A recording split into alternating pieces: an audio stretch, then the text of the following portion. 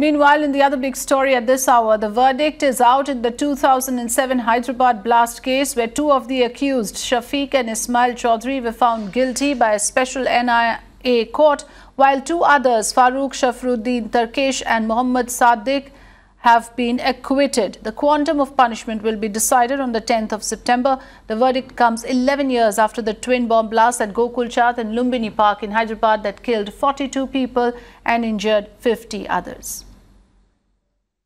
Today the morning judgment was announced and judge feel that the prosecution has proved their case against A1 and A2 and they plead guilty. Uh, the court convicted them and regarding the sentence we will argue on Monday. What are the names, sir? Convicted names. Anik Shafiq Syed, Akbar Ismail Chaudhry. They are A1 and A2, right? Yes. And what are the? wh- wh- how many are acquitted? So A5, A6 are acquitted. Two persons are acquitted.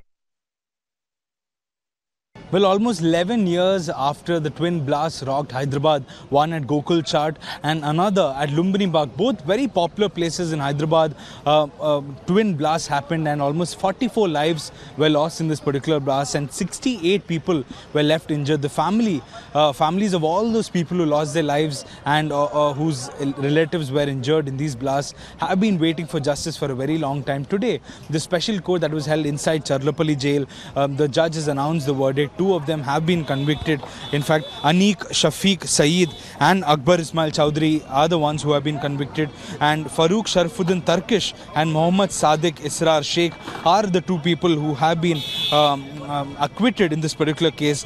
However, Mohammad Tariq Anjum is the one who provided shelter to the accused, and hence uh, his is a special case, is what we are being told. The special public prosecutor happened to say that the quantum of punishment uh, for all these people, uh, the two convicted as well as Anjum, uh, who provided shelter to the five accused, uh, will be announced on Monday. Uh, so it seems to be a partial closure for all those family members who lost their lives, who lost their loved ones in this particular blast, or who had their loved ones injured in the twin blast that rocked Hyderabad.